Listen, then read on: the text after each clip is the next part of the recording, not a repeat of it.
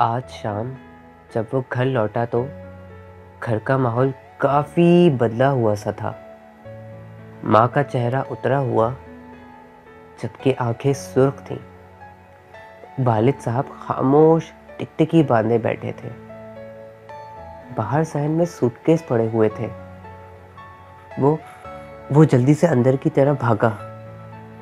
अंदर से हल्की हल्की सिसकियों की आवाज़ आ रही थी। इसने हिम्मत करके दरवाज़ा खोला तो इसकी बहन दौड़ती हुई जारो कतार रोते हुए इसके गले आ लगी। वो हैरान और परेशान उसे गले से लगाए खड़ा था। दिल हलक में था। सवालिया नज़रों से माँ को देखा तो माँ भी काबू ना रखते हुए रो पड़ी और खबर दी के बहनोई सामान और तलाकनामा समेत बहन को छोड़ के जा चुका है। उसके अतराफ के सारे रंग बेरंग हो चुके थे और दिल दिल धड़कना भूल गया था।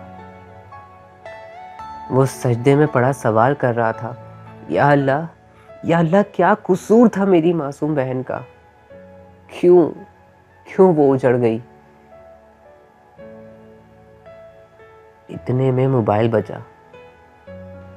इसने मैसेज खोला तो अल्फाज कुछ यूँ थे। मैंने तुम्हें माफ़ किया और अपना मामला अल्लाह पर छोड़ दिया।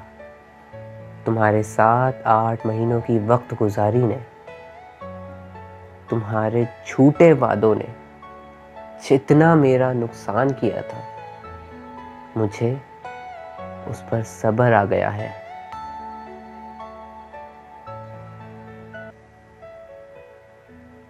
अब वो समझ चुका था कि किसी की बहन को जब सब्र आ जाता है तो किसी की बहन उजाड़ दी जाती है।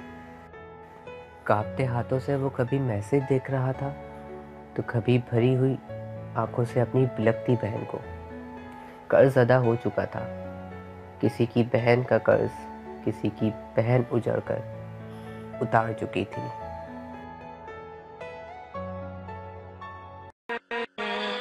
With